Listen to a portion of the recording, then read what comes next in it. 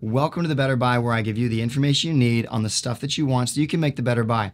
In this video, I wanted to share with you about my other channel, The Pun Runner, and a video that I recently released that was completely filmed on the X3.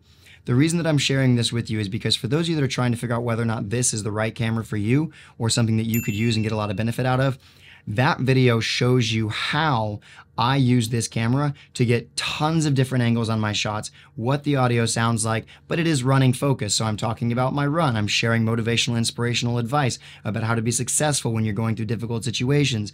And I'm walking you through running data, things like that. Stuff that doesn't necessarily fit for the better buy, but it does show you a practical real world use of the camera. So I'm going to have that link up in the top right here. And that's just once again an opportunity for you to see just how someone's using the camera on a regular basis. Because a lot of times reviewers get on here and they make their little review video and they set up these perfect case situations and they show you like these are the settings that I use and this is how I used it and this is the angle, blah, blah, blah. And I'm going to do some of that in a deep dive video. But I don't use this camera just for product reviews. Like I use this camera, I use it and I love using it. And I've found a lot of benefits to using it. There's some problems and some struggles that I'll talk about in a later video, the deep dive.